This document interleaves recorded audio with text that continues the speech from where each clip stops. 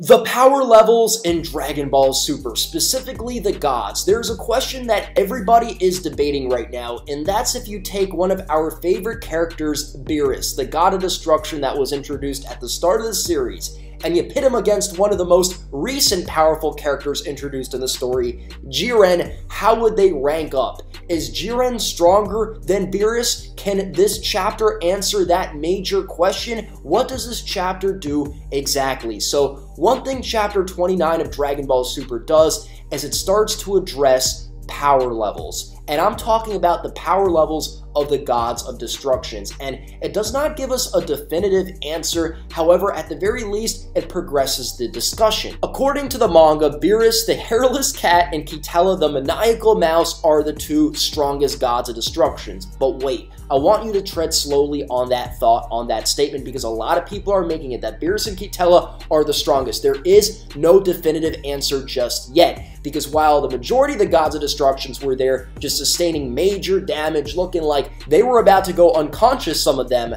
you still had Vermoud or Belmod there on the ground, and it looked like dude could go at it with both of them. I mean, he didn't look like he took any damage at all, and he just wanted to stay out of this fight like a smart person would do because all these crazy dudes are just going at it and they all have so much power. So why don't I just sort of stick out of this, stay out of this, and wait for them to kind of reduce their own power levels so that maybe in the end I could grab the almighty W. So I want you guys to tread slowly on the whole Beerus and Quitela are the strongest gods because Vermoud slash Belmod is still a part of that discussion in my opinion. Is he stronger than Beerus or Quitela? I don't know. However, he is definitely top three. Mickey D's represent was up to something. Now, I want to talk about the differences between the manga and the anime because when we talk about Jiren, we just saw Jiren displaying crazy power in the anime and a lot of people are now talking about Jiren and where does he stand amongst the gods of destructions? Could he take out the strongest god of destruction, Beerus? Is Beerus even the strongest god of destruction? So is Jiren stronger than all the gods? Let's take some time to see where we stand and let's try to answer, at the very least, the majority of these questions. We know this for a fact that the hierarchy amongst the mortals is pretty similar in the manga and the anime, and that's that Jiren stands above all of them, like, it surpasses them by far. Like, every single one that follows is kind of like way in the back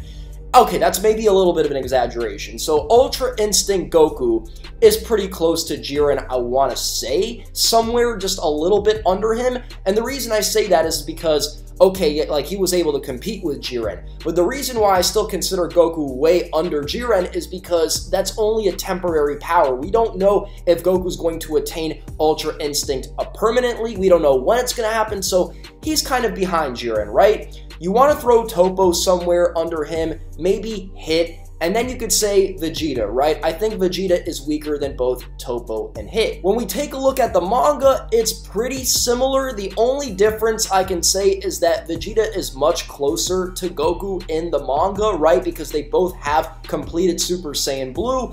And then maybe you could say Toppo is closer to being to Jiren than Goku. That's something you could say, but at the same time, it was a comedy gag where Toppo kicked Goku in the nuts. I don't want people to think that just because they threw in that comedy gag that Toppo, you know, defeated Goku in the fight, kicking him in the nuts, that if it really got serious and they really went all out 100%, that Goku would lose. We don't know. I'm gonna put them pretty close to each other regardless. Yeah, I think Kale's got potential as well, but she's not a part of the discussion, and if anybody says Ribrianne, I'm gonna go off, alright? Now, there is a potential mortal that's stronger than all of them, and as you get, okay, let me just stop. Let me let me just stop trolling for a second, guys. I'm a joke sometimes. I need to be serious. Now, comparing Jiren's power in the anime and the manga, it's a little bit difficult because here's the thing. In the manga, in the recent chapter, it was stated that Jiren is stronger than the God of Destruction in his own universe. And we know that Vermoud is top three. We don't know where Vermoud ranks amongst the three. We don't know if he's stronger than Beerus. We don't know if he's stronger than Quitela. We don't know if he's weaker than them.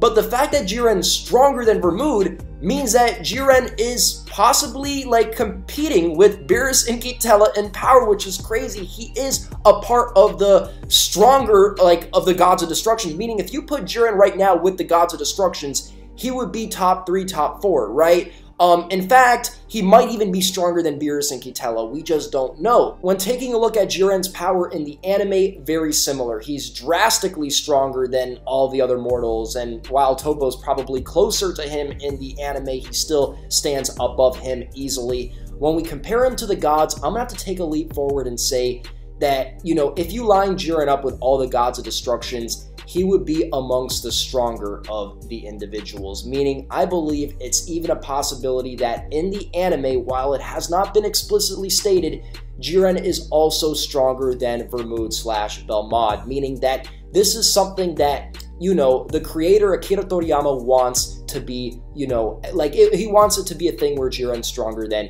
the Universe 11 God of Destruction. It has not been stated 100%, but just look at the way Vermouth slash Belmod talks about Jiren. He talks about him as if he could kick his ass in a fight. In fact, when Jiren's going off on the deep end, look at the Gods of Destruction's reactions. They are nervous about his power.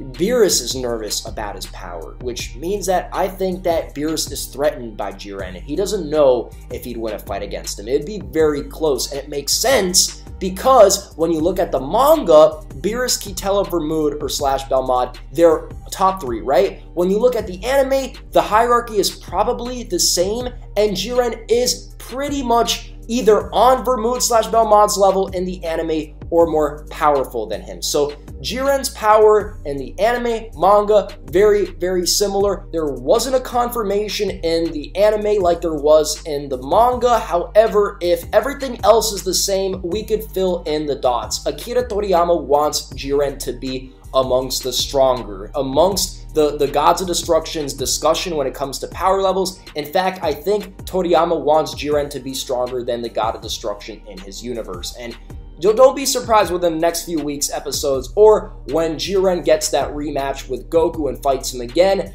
that this is stated and maybe that's how they want to build it up. Again, Toei's writing has been just everywhere, so I'm not surprised that the anime isn't as solid and consistent as the manga, even when it comes to power levels, of course, and that, that goes without saying, right? Like, Vegeta ain't even a part of the discussion when comparing to Goku, which is really messed up. Like, I would not be surprised if Vegeta gets Ultra Instinct in the manga, whereas he, by the way, did not get it in the anime, and I don't see that happening anytime in the foreseeable future.